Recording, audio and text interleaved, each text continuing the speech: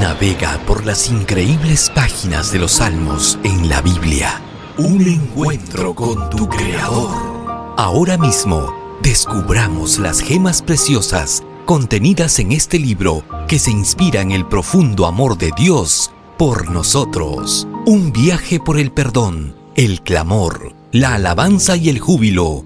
Bienvenido a Un encuentro con tu Creador.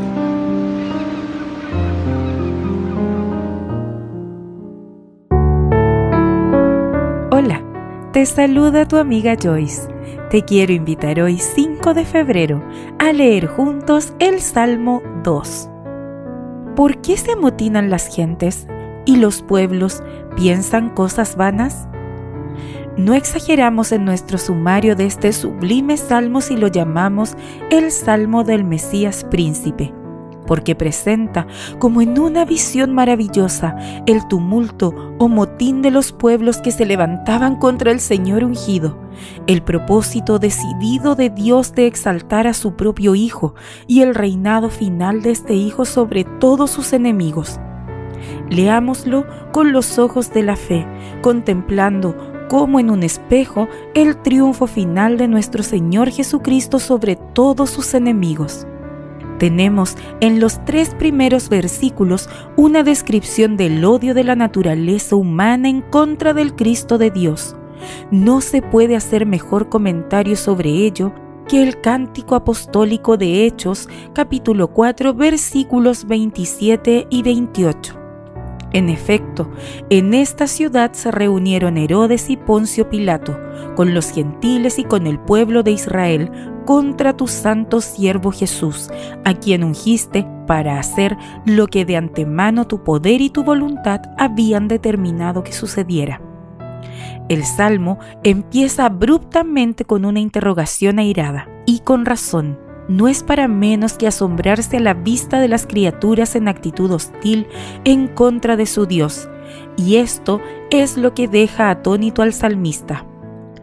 Cosas vanas.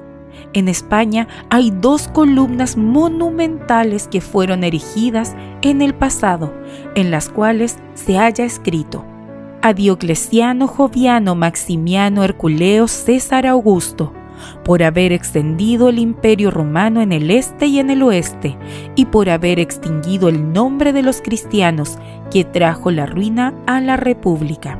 A Diocleciano Joviano Maximiano Herculeo César Augusto, por haber adoptado a Galerio en el este, por haber abolido por todas partes la superstición de Cristo, por haber extendido el culto a los dioses. Tenemos aquí un monumento erigido por el paganismo sobre la tumba de su enemigo vencido, pero en esto el pueblo se imaginaba cosas vanas. Ni en España, ni en parte alguna, puede señalarse la tumba del cristianismo. No existe, porque los vivos no tienen tumbas. Te espero mañana en un nuevo encuentro con tu Creador.